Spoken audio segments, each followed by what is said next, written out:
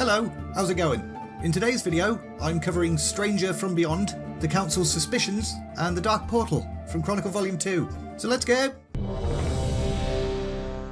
Medivh observed as the orcs edged closer to self-destruction. Blackhand was growing increasingly annoyed by Gul'dan's lack of solutions or answers, and Gul'dan knew pretty soon Blackhand's gonna kill me. However, that won't happen, so don't worry about it.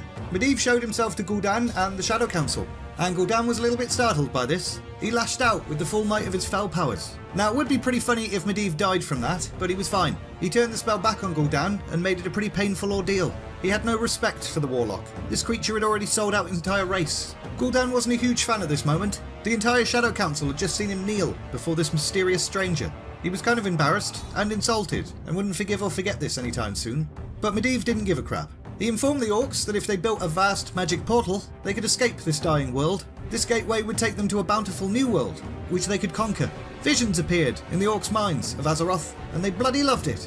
Pristine rivers, plenty of food, it was glorious. Gul'dan had sensed something demonic inside this stranger. He decided that probably meant he spoke on behalf of Sargeras. This must be why Kil'jaeden buggered off. The Legion were preparing to send another messenger, and Gul'dan, being the selfish knob that he is, went ahead and demanded payment for his assistance. What would he receive for helping this stranger build a portal to conquer Azeroth?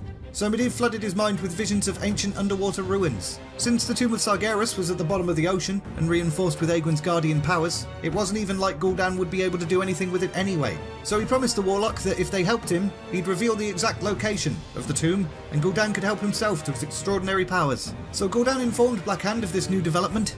If they wanted to build this portal, they'd need to tap into a point where the Draenei's magical ley lines met. They settled on an area at the eastern edge of Hellfire Peninsula and began constructing an enchanted stone frame. This would become known as the Dark Portal. Medivh's occasional trips to Draenor obviously led to absences from Azeroth, and these absences were noticed, mainly by nobles and entertainers who had come to Karazhan for various parties and stuff.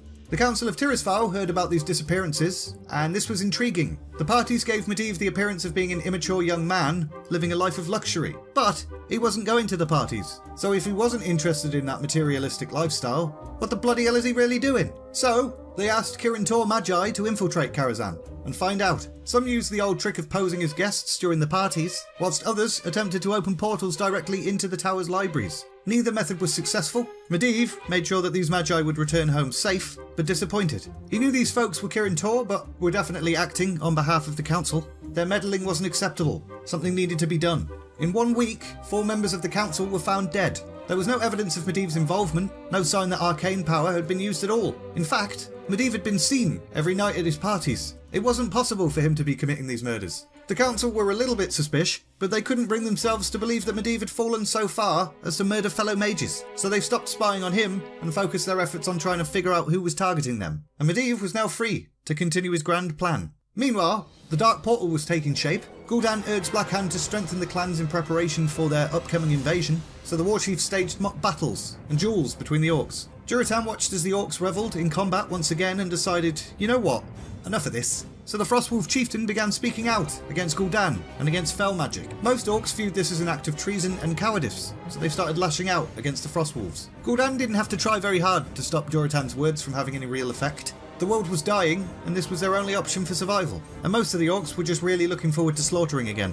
Once the portal was built, Gul'dan would work with Medivh to open it. The Warlock would conduct a ritual on his end, Medivh would do the same on the Azeroth side, in an isolated swamp east of Karazhan, known as the Black Morass. The amount of energy required was large, and would require both to pull their magic together. But even that wasn't enough. Every Draenei prisoner that still lived was brought to the base of the Dark Portal. Gul'dan drained all of their life essences in an instant, and that massive spike of power sort of jump-started the whole thing and a bridge between Draenor and Azeroth was formed. Members of the Bleeding Hollow and Blacktooth Grin clans were sent first as scouts, accompanied by some warlocks. They quickly established a camp in the Black Morass and constructed a frame around the gateway on the Azeroth side in order to stabilise it. Somewhere, a powerful mage had felt a ripple when the gateway had opened. Aegwynn, and she is going to investigate what the bloody hell is going on in the next video. And we're leaving it there! In the next Volume 2 video, Medivh is going to clash with his mummy, and then he's going to have a different sort of clash with Garona. As always, thanks very much to those of you who support the channel as patrons. Links in the description for the Patreon page if anyone's interested.